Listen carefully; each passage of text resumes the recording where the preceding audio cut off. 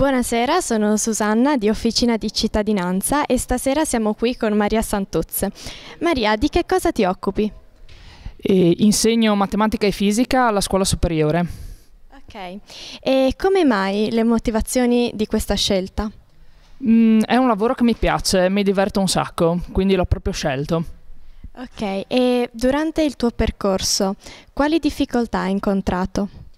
Io ho avuto un percorso abbastanza lineare e l'unica difficoltà è stato dover aspettare un anno per ehm, il corso di abilitazione all'insegnamento.